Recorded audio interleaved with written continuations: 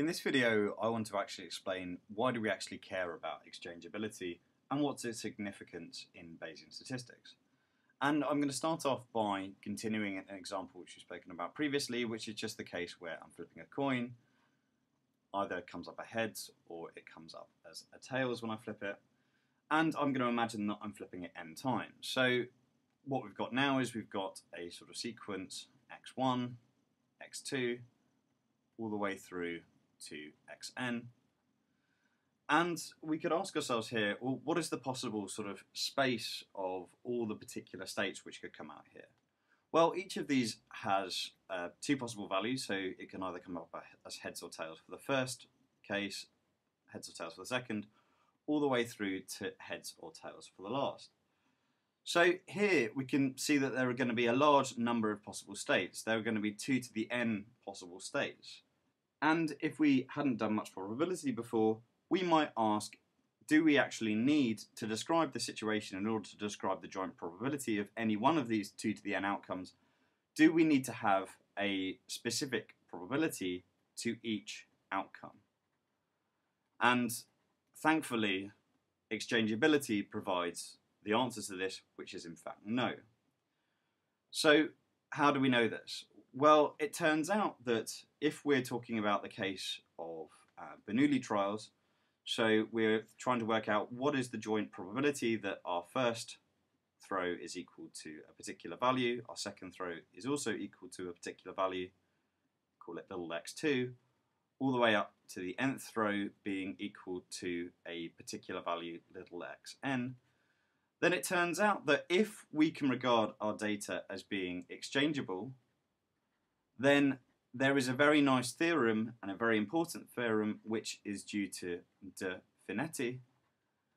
And the idea here is that we can represent our joint probability here, it turns out, by a particular integral. And the integral here is the integral from 0 to 1 of theta to the power, the sum of the individual values of x, so xi, so that's the sum from x1, x2, all the way through to xn, times 1 minus theta to the power n minus the sum of xi, so I'm summing over all n terms here, integrated with respect to some cumulative probability distributed df, which is itself a function of theta.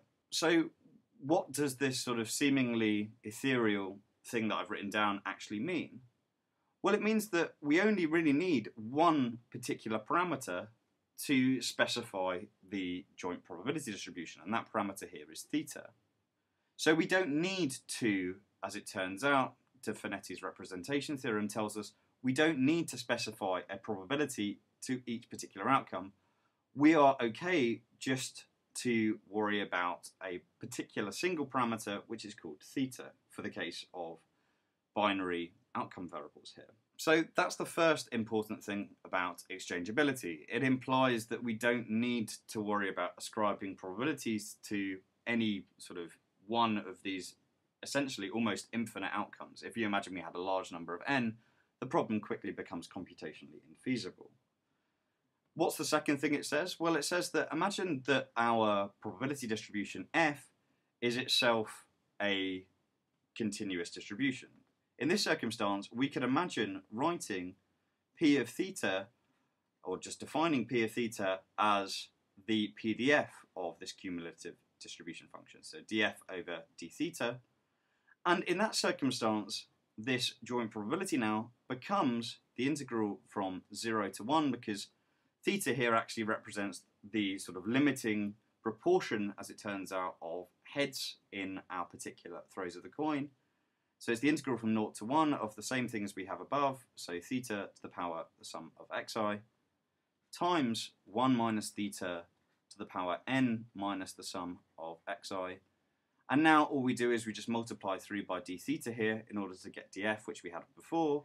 Then we get something which is called p of theta times d theta. And this now starts to look familiar to something which we have seen before. This first part of the expression here is just a likelihood. What's the second part here, this p of theta? Well, this is something which is data independent. Notice that there's no i subscript here, it's just a function of theta. So we could sort of think about this as some sort of prior. So how are we actually getting over, or how are we actually defining the joint probability density here?